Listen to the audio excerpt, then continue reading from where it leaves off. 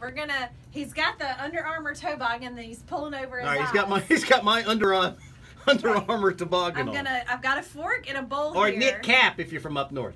And That- I'm gonna- Hey, hey, pull that oh. down all the way. It is. He can't Yeah, see. he Well, he's can't. got to be able to open his mouth. All right. All right. So I'm gonna.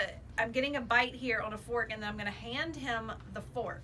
All right, this is Okay. this has Kentucky bourbon in it. Yep. Yep. All right. H- hold out your hand, Marty. Okay. There's the fork. All right. Not happy about Okay. it. All right. Don't drop it. Just take a sniff. Okay. Oh, that doesn't smell good. It smells like bourbon, doesn't What it? What do you think it is? It smells like fruitcake. It's got bourbon in it. Give it a try. How's it taste? Like fruitcake.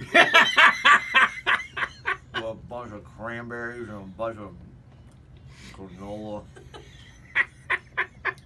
plums. Maybe a cherry. That was definitely. I made sure That's awful. I got a chunk of something in there for you.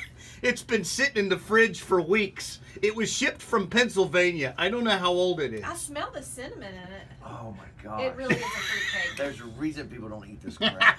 Where's the box? It's a bunch of leftover berries that were in your refrigerator, so you just throw them in a cake mix Did- and did call it crap. Do you feel a buzz no, from the I- bourbon? that's what I was hoping for. I, I kept chewing, going, please be bourbon. Here, keep eating.